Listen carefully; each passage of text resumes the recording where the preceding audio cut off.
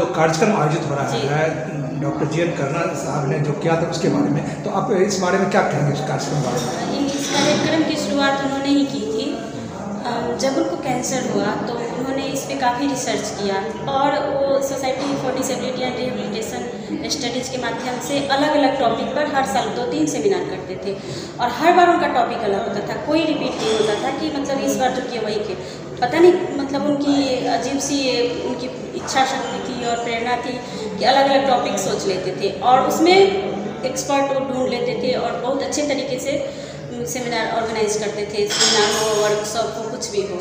तो जब वो कैंसर से पीड़ित हुए तो उन्होंने इस इस पर सोचा कि कैंसर का कुछ, जैसे कि बाकी जो ट्रीटमेंट है उसके साइड इफ़ेक्ट्स भी हैं, जैसे रेडियोथेरेपी है केमोथेरेपी है। और उन्होंने सर्च किया तो उस उस दौरान उन्होंने पाया कि विदेशों में काफ़ी इंडिया में तो नहीं, लेकिन विदेशों में काफ़ी इस तरह का काम हो रहा है म्यूज़िक थेरेपी के माध्यम से उसका इलाज हो रहा है।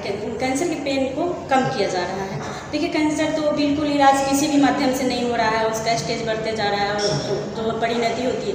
लेकिन अगर हम उसके पीरियड को उसके लाइफ को बढ़ा देते हैं उसकी पीड़ा को कम कर देते हैं तो भी बड़ी बात होती है। तो उन्होंने तैयारी उन्होंने ही शुरू की थी लेकिन कुछ उनकी स्वास्थ्य की स्वास्थ्य की मतलब परेशानियों की वजह से वो कर नहीं पाए। तो उनका जो अधूरा काम था उसे हम लोगों ने मैं भी उनसे कई बार मिल चुका हूँ। वो एक मतलब दिव्यांग शब्द को काफ़ी विरोधी थे। कहते दिव्यांग शब्द है ही नहीं। वो और मैंने मानव जो साधारण व्यक्ति से ज़्यादा अच्छा काम कर रहे थे।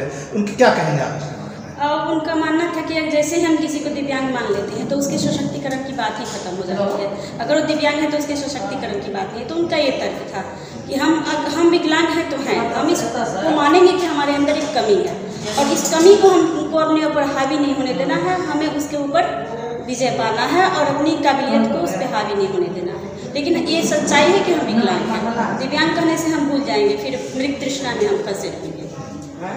आप जैन करना साहब चले गए उनकी कमी को पूरा नहीं करते। क्या आप उनको कैसे श्रद्धांजलि किस रूप में देंगे जी मैं उनके काम को मैं जितना हो सकता है जिस माध्यम तक जितनी मेरी क्षमता है और जितनी योग्यता है उसके अनुसार मैं उनके काम को आगे बढ़ाना चाहती हूँ। यही हमारी सच्ची श्रद्धांजलि होगी। जो विकलांगों के लिए उन्होंने काम किया है, उसको आगे बढ़ाना।